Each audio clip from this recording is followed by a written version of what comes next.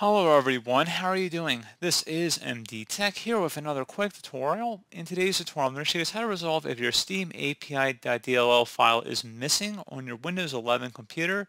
So I imagine this can definitely be a frustrating issue, and in today's tutorial, I'm going to show you guys how to hopefully resolve it without too much of a hassle. And without further ado, let's go ahead and jump right into it.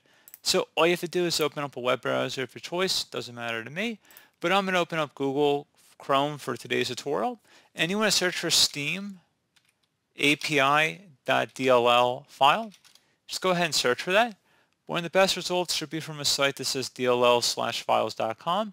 Go ahead and open that up and go down a little bit on this page here. So you're going to select the most up-to-date version on this page here. And you're going to select the download button.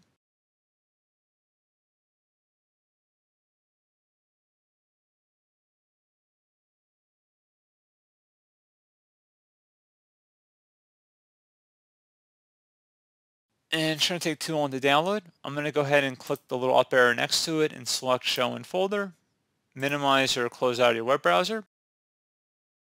I'm going to go ahead and double click on the Steam API folder and then I'm just going to drag the DLL file over to our desktop. You can close out of everything at this point just to make it easier to follow along and we're going to now open up File Explorer again. So just open up File Explorer in your taskbar or you can search for it and you want to select this PC on the left side. Double click on your local disk where Windows is installed on. Do the same thing now for the Windows folder, so double click on that. And then finally locate System32 right here. If you do not see System32, you may have to enable that hidden view. So, select View up at the top and then select Show and make sure where it says Hidden Items is selected here. So if for some reason you don't see System32, you should see it now. And we're going to take our Steam file on our desktop and just drop it into the System32 folder where it says move to System32. So just drop it in. It's going to say you will need to provide administrative permission to move to this folder. Select continue. And that's all you have to do.